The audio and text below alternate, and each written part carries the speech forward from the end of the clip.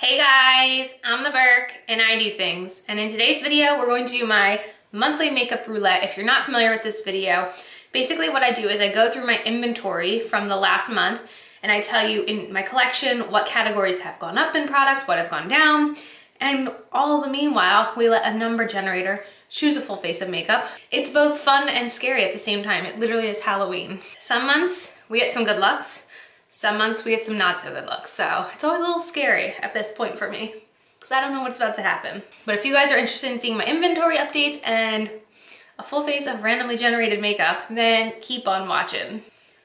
Let's go. So I always start with like the bronzer, highlight, and blush category. On my spreadsheet, I have that broken up into single bronzers, single blushes, single highlights, and face palettes.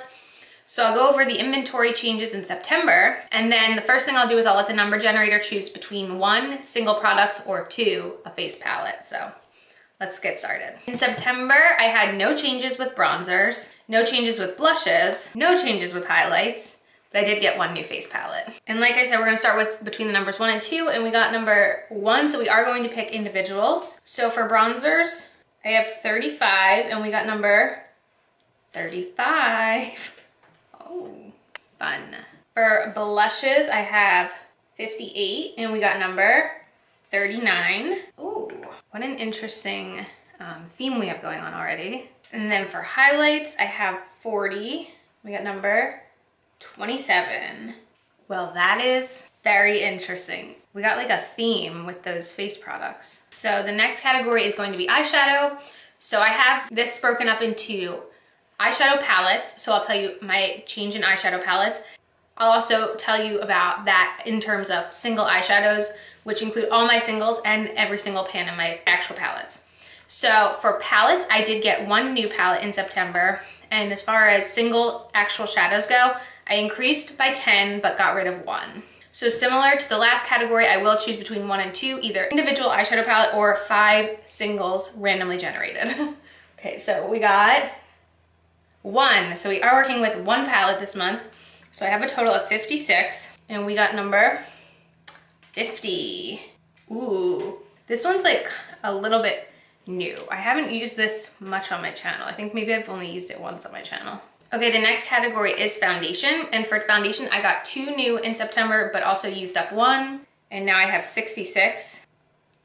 Oh, and I just, I didn't even look at which one I drew yet. I do want to say if I get one that's self-tanned, I'm just redrawing because I'm too pregnant to care about self-tanning. So I landed on number four, which I feel like we could make that work. It's not the most accurate color match for us, but I haven't used it in a while and I think we can make it work today, hopefully. The next category has both a mixture of eye primers and lash glue. So if we land on a lash glue, I'm just gonna redraw. But I did not have any change in this category this last month, and I have a total of 13 items in this category.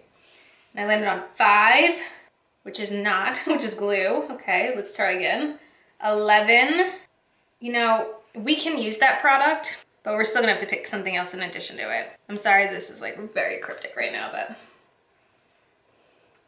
12, there we go. We can use that as our eyeshadow primer. That is actually in my shop, my stash, if you have been paying attention. Okay, so for concealers, in September, I did get two new concealers. So now I have a total of 30, and I have number 22 here. Ooh, interesting, interesting. This one is a little bit newer in my collection, and I actually recently reviewed this on my channel. So I guess I'll get to show you it in action. All right, for setting sprays, I did finish up one in September and now I have 37. We got number 13. This is one I have not used in a long time. For brow products in September, I had no change. So I'll kind of see what we land on to decide if we want to use multiple products or not. So right now I have a total of 57 brow products. We landed on 32, which is a brow pencil. So what I can do is I can roll and try to get us a brow gel as well. 42 is a pencil. 32 is literally what we just rolled. One is a brow gel, so let's do that.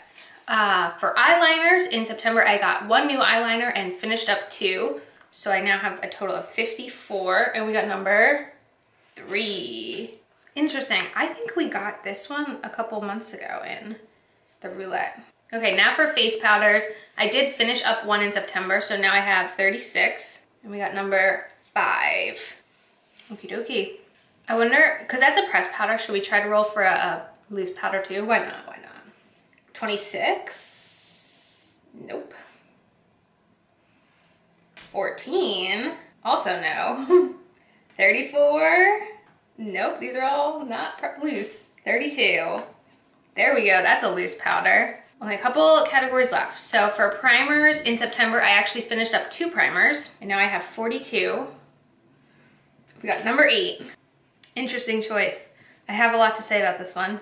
Okay, so for lips, I do have the categories broken up into four, lipsticks, liquid lipsticks, lip glosses, and lip liners. So I am gonna choose between one, two, three, and four, but I'll tell you the changes in September first. Lipsticks, I got three new lipsticks in September. Liquid lipsticks, no change. Lip gloss, no change. And lip liner, no change. So let's first choose between one and four. Two is a liquid lipstick. So for liquid lipsticks, I have 101.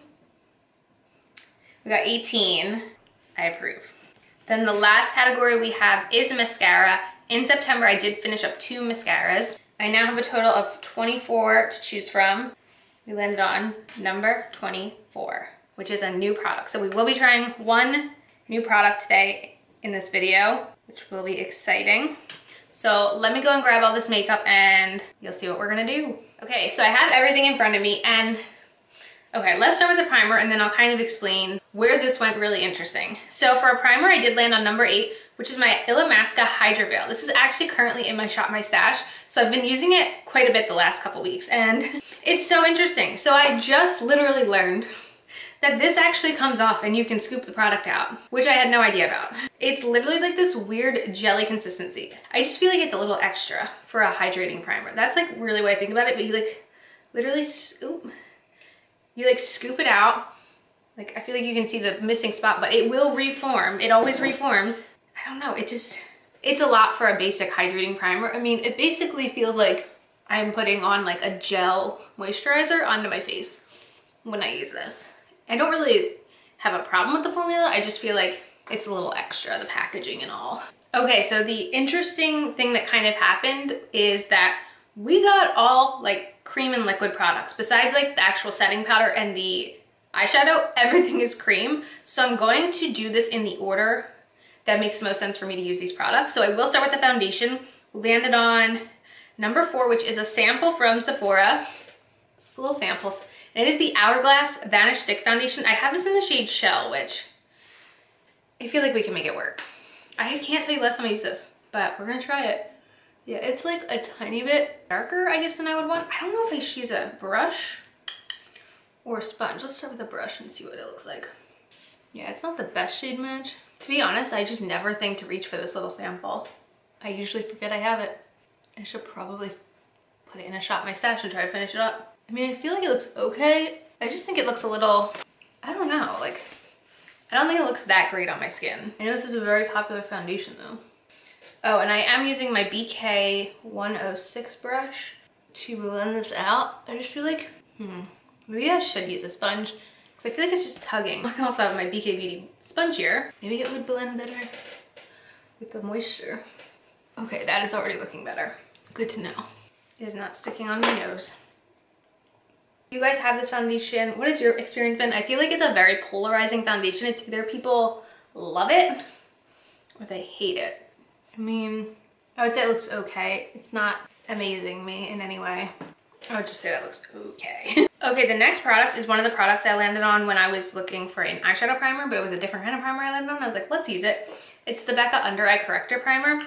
I've been using the heck out of this lately. Like, I, the last two months, I've had more lightweight concealers in my Shop My Stash, and I feel like just being able to tap this out in the inner corner has been such a help with using more lightweight concealers because it really does just help get rid of that little bit of darkness that I am trying to get rid of. Now, when I do do a lot of cream products, I usually use my cream bronzer before my concealer, so we will go in with that. I did land on number 35, and that is my Charlotte Tilbury Contour Wand. I just talked about this in, was it Friday's video with my, my top 10 favorites from Sephora? So you get to see it in action. It is so messy though, which is annoying. But I will go in with the brush I was using and blend this out. Since we're only using uh, cream cheap products today, I'm gonna make sure that everything looks really good because we're gonna wind up setting it all in place anyway.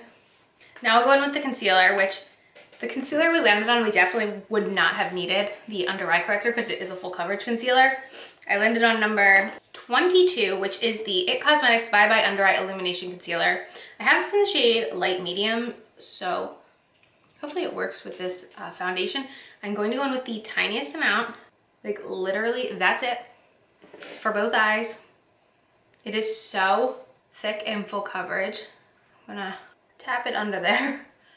It has a lot of illumination. I'm not crazy about how illuminating it is. I think I would much rather try the original, but I'm going to make sure it's all under there. And then I will go in with the sponge just to press it in and even maybe hopefully take away a little bit of the product.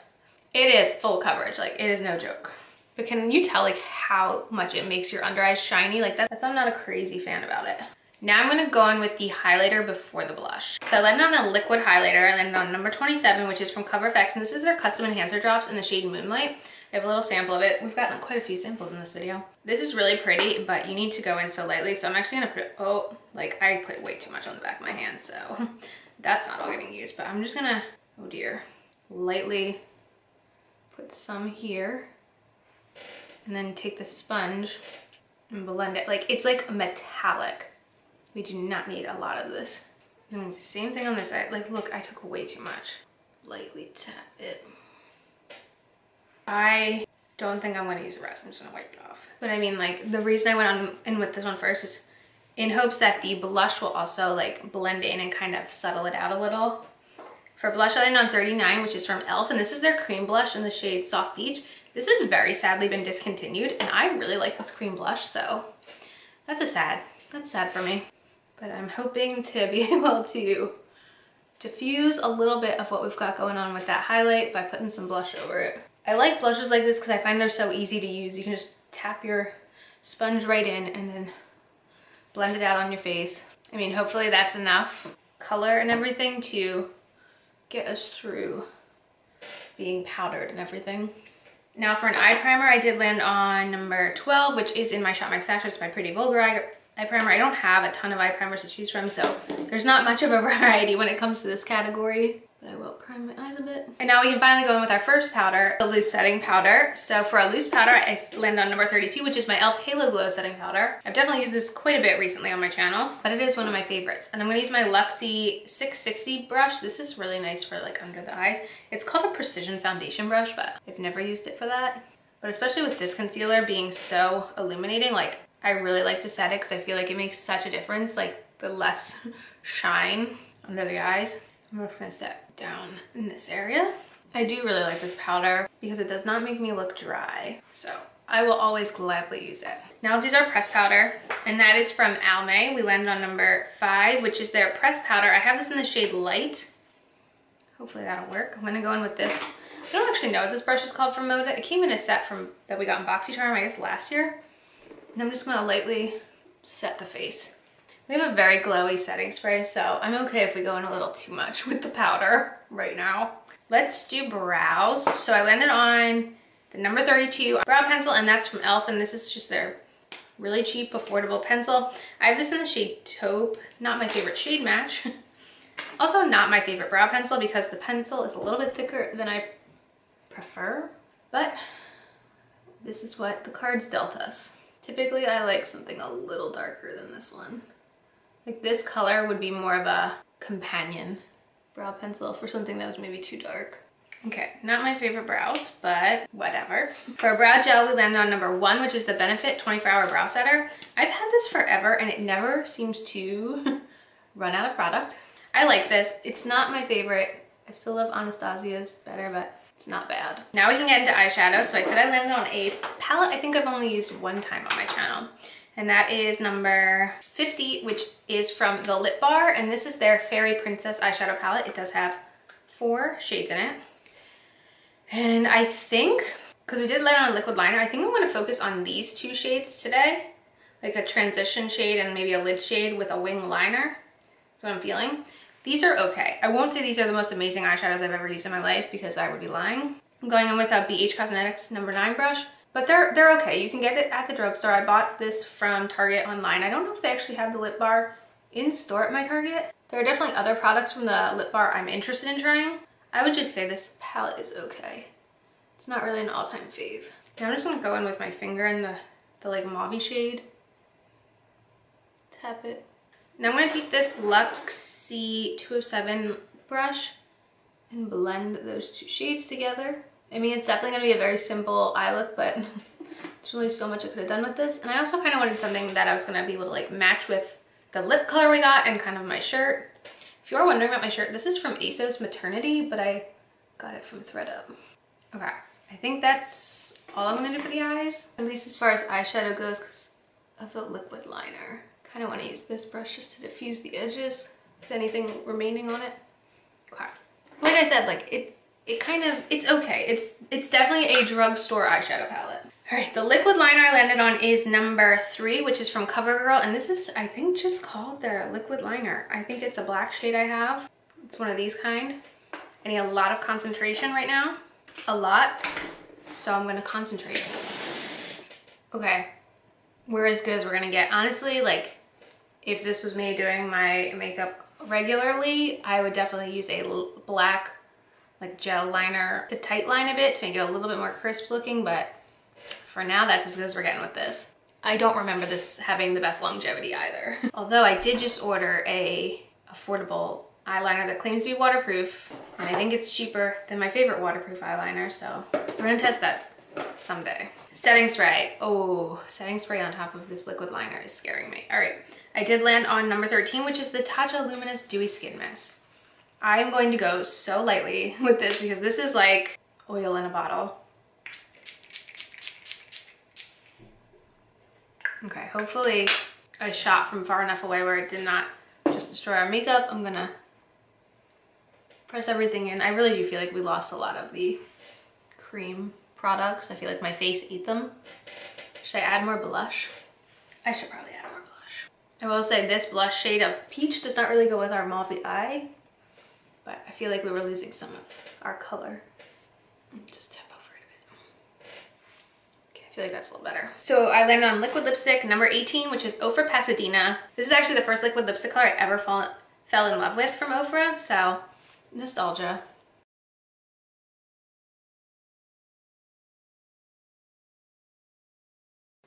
I feel like the color goes with the eyes too. I love Ofra liquid lips. Talk about them all the time. Last thing is a brand new mascara. I got this sample from the from Sephora. It's the new Huda Beauty mascara, which has two ends. You have a volume end and a curl end. So I don't actually know which one to use first. It looks like volume. So this is what it comes in. Each set has its own foil packet. Actually, you know what? I'm gonna write on this volume and then curl and length so I don't have to keep this freaking cardboard packaging. Okay, so I'm gonna go with volume first. So this is what the wand looks like. Here we go. I mean, I will definitely say that gave volume pretty quickly. Okay, I have no idea how much product is in this weird foil packet, but now I'm gonna go in with curl and length, which kind of has more of like a Benefit Roller Lash kind of vibe. Okay, actually this is pretty good.